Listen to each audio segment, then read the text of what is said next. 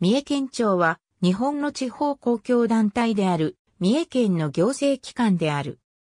本庁舎及び全県的な行政の執行機関は三重県津市にある。口述するように三重県知事であった北川正康の改革により蚊は置かれていない時期があった。表示をクリックすると一覧表示されます。1995年に三重県知事に就任した北川正康は県庁の組織が内向きで、県民への弊害が多いのではないかと考え、行政改革に乗り出した。これは、従来のヒエラルキー構造を組織階層の低いものに変えるもので、フラット化と呼ばれる。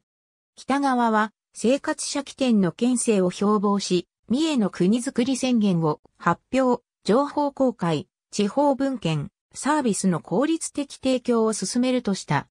最初の改革として1998年に執行機関と企画、総務部門を分離する2局6部体制への移行と、係を廃止してグループを置くグループ制の導入を行った。グループ制とは、各グループのメンバーが課長に直属するというシステムであり、グループリーダーは自分の仕事とグループの総括を並行することになる。さらに2002年には職員の強い反発を受けながらも、課の全廃を断行、チーム制を導入した。チーム制は従来の課のように固定的な組織ではなく、部局長の判断で年度中の組織変更が可能な組織であり、統括マネージャーがチームの下にあるグループをマネジメントする仕組みである。また、一連の組織改革と並行して事務事業評価システム、政策推進システムも導入された。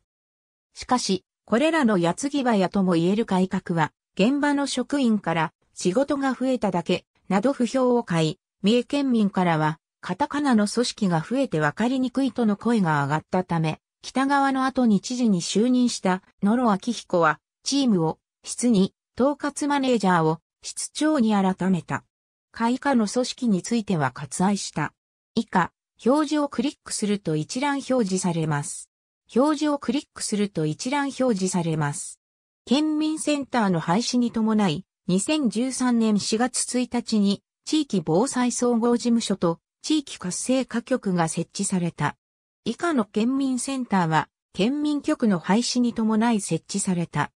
2013年3月31日に県北中部の県民センターは地域防災総合事務所へ、県南部の県民センターは地域活性化局へ改祖された。